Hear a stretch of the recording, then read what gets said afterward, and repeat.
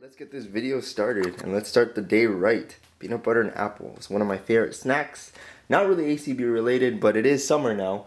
And um, if you're like me, you want to watch your, what you're eating because you're trying to keep the waistline small, you know? So um, one thing lately, I've been eating really bad. I've been eating a lot of sweets and like just really bad altogether. And the thing about bad habits, you can never really quit a bad habit, you can only replace it. So I'm trying to eat healthier. This is my new favorite snack, peanut butter and apples. Peanut butter isn't the greatest for you because there is a lot of sugar in it, but um, nonetheless, it's a better alternative than cookies, right? Alright, let's get this video started. Also, I want to dedicate this stash bin update to uh, Slings a Web. Um, he just finished, I guess you can say, ended his uh, little YouTube vlogs uh, just recently. So I just want to dedicate this to you, man. I learned a lot from your tips. Um, you're a great guy, and this um, next 20 minutes, it was in pretty much uh, I dedicate my time to you, man. Good show. Shout out to Ian Christie. Shout out to David Liu. Shout out to Boog. Shout out to Jerry Nightmare. Shout out to Nick. David, uh, I, I just said David. Actually, there's two Davids I want to shout, shout out to. Shout out to Nathan Johnson, Tyler, uh, Jamal, Pharaoh Black, everybody on the Facebook community. Um, Poopyhead Allen, Witch Ones, and my boy Charles Dukes, congratulations for winning the tournament. Marvel Walkies, Chino Marino, all those people. You know who you guys are. Okay, now let's get this video started. So here is the Crime Syndicate pack of America. Altogether, I'm really happy with this. I didn't really get to really talk about it when I got this. I like the pack. I'm pretty happy with the purchase. Um, overall, I'm just really happy with it. But I do have some gripes about these figures, and the fact that three of the five are in the wearing their modern costumes, and these two, Johnny Quick, are here, and then Power Ring, they're wearing their old school costumes. I didn't realize this until actually, I guess the whole fanboy kind of absorbed out of me. So you got Ultraman wearing his updated costume. Power Woman, uh, is wearing her updated costume because her hair's not, her hair's down and she's wearing gloves and I think her cape's different I think I believe. And then obviously the most um, obvious change uh, is uh, Owlman because his costume completely different from when he first started out which is interesting because of all of them his costume is the most I guess changed the most. And if you think of it Batman's also kind of his costume has changed the most in Earth 1 and I guess it only makes sense that his evil counterpart would update his costume as well. But anyways um but Johnny Quick's costume, it's the old school version, and the old school version pretty much is just the head.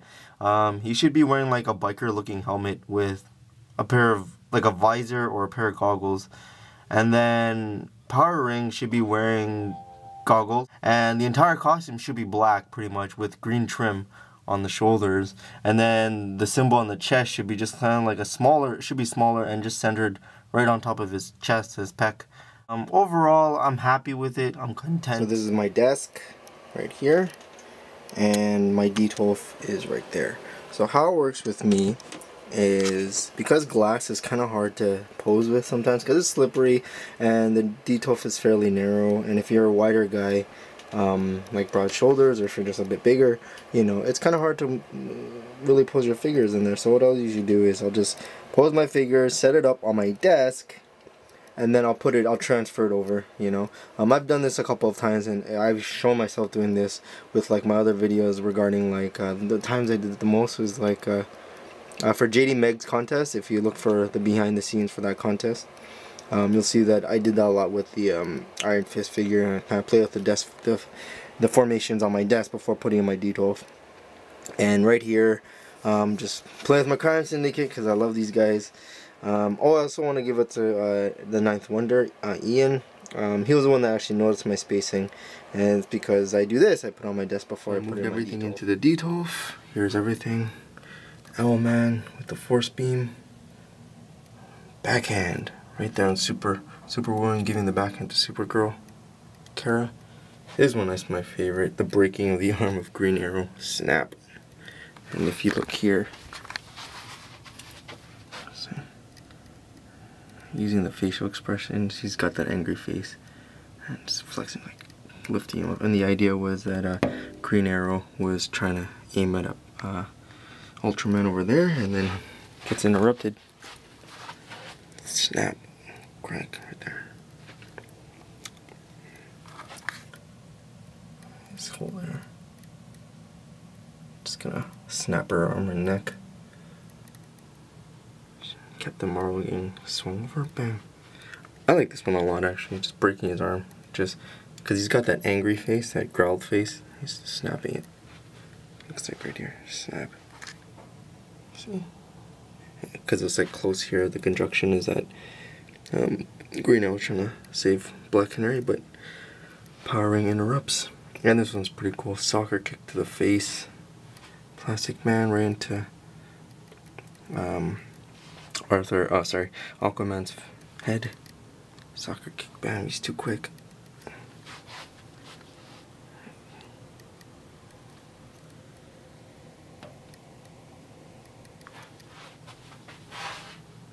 So right now I'm just playing around with my lighting. It looks like uh, Superwoman is just smacking uh, Supergirl up. If I zoom out, see, just playing around with some lighting, see? light source. And trying to take some pictures, but I'm not getting the right look. And you know, you take like 50 photos just to get one result, and that's why I don't really like taking photos. I don't have that much patience. But I'm trying to get this one. See how it turns out. Here's another one. I'm just taking some footage of uh, Power Ring and versus uh, Green Arrow. He's breaking his arm. Zoom out. Just taking some photos. These are gonna look really good. Trying to uh, build my portfolio of ACBA, you know? Pretty damn dope. And then the angle. He's breaking his arm, snapping it. Crack. See if I can get one here. Maybe I'll take a photo from this shot. Snap. Looks very painful. He's lifting him up as he flies. Sorry, now we got Johnny Quick kicking uh, Aquaman and Plastic Man. I'm going to be doing a contest for Ian the Ninth Wonder. Um, this is the layout so far, and I'm going to get started soon. And right now, as you can see, I'm wearing my director's hat because I'm in director's mode producing some stuff. Because you know, directors always wear hats, so... Okay, forget the hat. Oh, and shout out to Nicholas Halcomb. Have a, his Facebook open right now because always likes my videos and always likes my links and stuff. So shout out to you. And also, uh, shout out to uh, Nicholas Nicholas um, Petrosian. So shout out to you, man. Right there. Shout out to right, you, man. Shout out just like that. I spent like two minutes on it. We have hardwood flooring, and what I did, I just put photo paper right here and just put like a little bit of wax on it and stuck it on this. So there I have my general floor. So here is go. the set. Um, it's just pretty much zoom out. See what I mean? It's just a giant set and let's finish this up. It's already 12 o'clock, so I should go to sleep soon, but uh, I want to get this it's done finished. finished. It's finally finished. It took so long to do this, actually. Um, I'm actually filming the next day, because I actually went to sleep, and then um, it actually stuck through the night, so which I'm glad, because nothing's worse than a display falling when you're sleeping, and then you're like, oh, I gotta fix it. But anyways, it's finally done, and pretty much the layout is Owlman's taking over Gotham City. I'm, I don't know, it's this thing about me and Batman or whatever, but I know. And like I said, the reason why I use Batman villains a lot for my contest is pretty much the fact that it's um, my most complete rogues gallery setup. So pretty much Owlman just has a force beam, uh, Superwoman just kicking ass, just like hitting Solomon Grundy, Copperhead, and Killer Moth. Clayface is just there. Riddler's down. Scar um Scarecrow's down, Killer Croc's down, Two Faces running away, alongside with Black Mask and Joker and the Penguin. Deathstroke is down, and uh, Deadshot is aiming towards Owlman. So, um, and Harley Quinn's down too, got broken leg. Um, shout out to Ian, Ian the Ninth Wonder. Hope you enjoy this. Um, not much to it. I'm probably gonna take this down, uh, or maybe transfer this, set the Power Woman, uh, Superwoman. I keep saying Power Woman, I don't know why, and put that on the top shelf of the Detolf, uh, and yeah. So Behind by now, if you watch my videos, Boog Nice 10's videos, JR Nightmares, um, on the Facebook community, you should know about the homemade flight stands, the DIY flight stands, the do-it-yourself, and what I usually do on the first attempt, I use a coat hanger metal coat hanger and then the second attempt Uh, no, yeah, and then I also make small ones. But recently I went to the dollar store and then I bought like for like just like a buck uh, barbecue skewers, which is the same idea, but they're long and same idea, but they're more sturdy and they're more harder.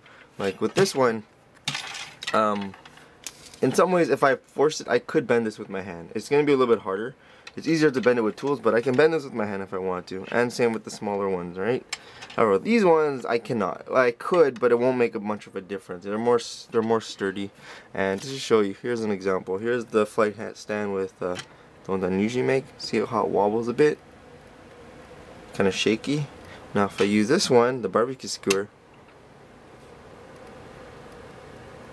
Did, did you see the difference? I don't know if you saw. Let me try it again. Uh, coat hanger. Okay, I don't know if you won't be able to see it this time. And then here's the barbecue skewer.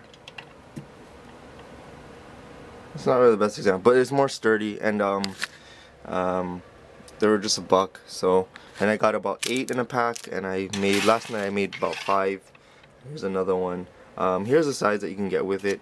Um, the coat hanger is a bit taller because you know you get more metal to work with for one coat hanger, but these are just as good. And um, I like the fact that it's just plain silver and it's sturdier. So this is a haul from the 80s Toy Expo. I've been meaning to show this, so um, I haven't gotten anything open. So um, from start, I got everything at that expo, um, everything on my list. I only bought everything on the list everything specific to a list except for this one but I'll get into details with that in a second. Um, Star Trek figure the female figure. Um, the only reason why I wanted to have her because I wanted to use her as an assistant like kind of use that guy. And the red uniform looking thing kind of looks like a uniform as mentioned. So have an assistant. I'll probably use her for like Jigsaw or Two-Face. I haven't figured it out yet. Um, my first Star Wars figure, I just wanted this one. Um, I've seen like some photos on a like non-ACBA related photos or just people put these stormtroopers in weird funny poses. I just want to have one. Um, got a good deal and it's mint on card. You know, I don't know if I'll open this because this is my first Star Wars figure, so I'm pretty happy with that. Uh, 35 bucks for a wasp. Um, sadly, this is the only wasp that I saw. I don't have this version. This is the only one that I have. I had to get it. I sunk in and just bought it. Um, Starman. Uh, I'll get that in a second. Got this one for five bucks. I have the original one, the classic version as shown here. So this is the second uh, cheetah that I have. Um, yeah, uh, five bucks can't beat that. Uh, what else did I get? Oh, I got the after watching um, Boog Nice and a couple other people um, get this figure. I had to get it myself, and it's actually pretty good. Kind of upset though, because I paid 10 bucks for this, and then right after I bought it, I saw someone else selling it for 10, mint on card. But this one's fine. It works. It's totally fine. Good condition. Doesn't really matter. This is the steal of the day. Got this for five bucks, and the reason why I said it was five bucks, got it for five bucks because um, I already fixed it though. But pretty much uh, the leg the peg fell out and the foot the foot peg fell out. So I told him that was broken, and he's like, "Okay, I'll give it for five. Because initially he was trying to sell it to me for ten, but then I kind of asked for. I guess he changed it because it was broken, and it's funny because I know how to fix it, right? So I'll do a tutorial how to fix the how to fix your peg figures when they fall off the peg. And this one, Starman. Um, while back I showed a haul where I bought a Cyborg Superman and I bought it for like 10 bucks or 15 bucks I think it was 10 um, I bought it from a toy vendor at a, a toy expo. And then what happened was I recently found out that that Cyborg Superman had um, two left feet had two left feet. So today I brought that Cyborg Superman to the con and I told him that, you know, I bought this from last time, like a month ago or two months ago last con. And he said that, okay, no biggie, just pick whatever, you know, that's worth the same value. And I picked this one and he said, yeah, fine, if you, that's what you want. And then uh, I got a Starman. I don't really, didn't really want this, but I might, I might build my Justice Society, which is kind of like the B-listers. Well, not really B-listers. It's like the second version of the Justice League on a different end of the world, if you will. So I might build that with all these guys. Um, yeah, it's a different team. So, and I, from what I recall, I got already, I got like half the team already. So uh, I, am like two members away from completing the team. Anyways, and that's the whole. There Pretty we go. Good. The Wasp in our classic colors, along with my Avengers setup. This is based off the cartoon series. I've seen this display many times. Ultraman.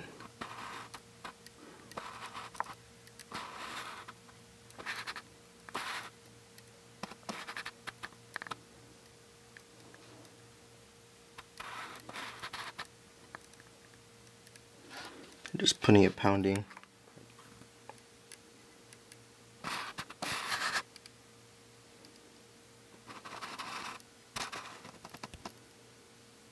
This is another version of the Justice League, as you can see. Um, it's missing Vixen though, uh, but there is no Vixen figure. Um, there isn't like the DC Direct line, but I only want to collect uh, um, Mattel's version of the DC figures, the DC UCs, just because they're in better scale, um, the articulation is a little bit better, and yeah, that's pretty much it. So I guess I could get this a more modern version. This could be a more modern version like the Red Tornado with the red boots and red gloves. And then this could be a different version of the Hawk Girl. But overall I'm content with this. Mm -hmm. Just League of America. And over here, just some posing with some dynamic posing. Yeah.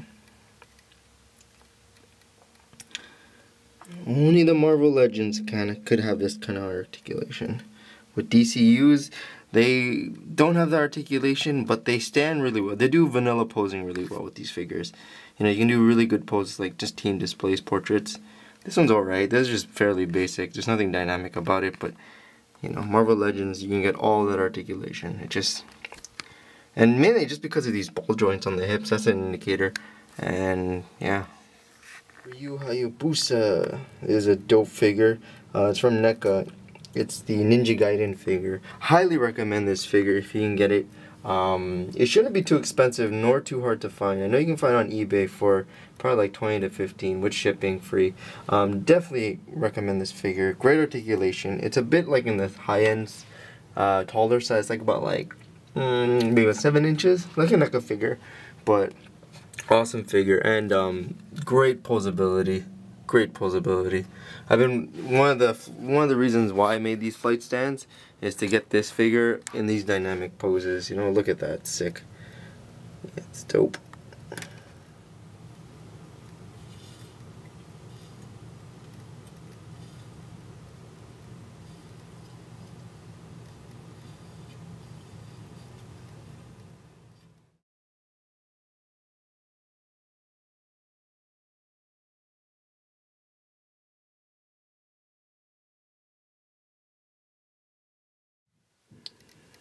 See?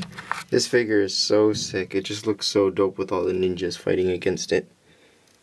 Bam. 10 ninjas. 10 white hand ninjas. With my flight stands. There you go. Hey everyone. I don't usually film in here, but there's really good lighting, so I want to take advantage of that. Um, anyways, this is the uh, Hasbro Marvel Legends Iron Man, and I just want to give you guys a tip. Pretty much, if it comes down to you collecting or having a choice between the Hasbro version of a character versus the Toy Biz, a good portion of the time, I would highly suggest, um, if you're to collect ultimately every version of every character, get the Hasbro version first. Just mainly because um, not only are these um, really expensive for scalpers, like they'll overprice them, is that um, they're really hard to find right? And a good portion of the time, depending on where you're from, I can't speak for everybody, but a good portion of the time, based on my experiences, that Toy Biz figures are still warming up pegs in comic book shops. They'll sell them loose in conventions because they're older, right? They've been around longer. And the distribution for the Toy Biz figures is fairly good. I mean, for the fact that they've been, it was like, how many years ago when they went out of business, I guess you can say, their figures are still mint on card and still can be found, just depending on where you go. With the Hasbro figures, a little bit more harder to find. Your best bet is eBay and Toy Biz figures are also on eBay and in conventions and comic book shops. So if you're really going to collect ultimately every character, every version, if you really want a bigger collection, I would suggest getting the Hasbro versions first. If you're just ultimately going for a one ultimate version, like the one version of that character, I guess stick with the Toy Biz line. But uh, when it comes down to it, it's up to you, but just a, just a little tip I just want to give. And this is one of my favorite Iron Man. A lot of people don't like it because they think that he's too skinny. But I think it actually works, you know. The other version of the costume is like the series one, and I think that's actually way too big. And um, I think this one is uh, proportioned a lot better, you know? Anyways, that's pretty much it. I got really nothing else to say other than thanks for watching the video. I'll try to post something else. I might post something else after I post this video shortly after this week, like a small update. But other than that, um, Shaun from the Stash Bin. Peace.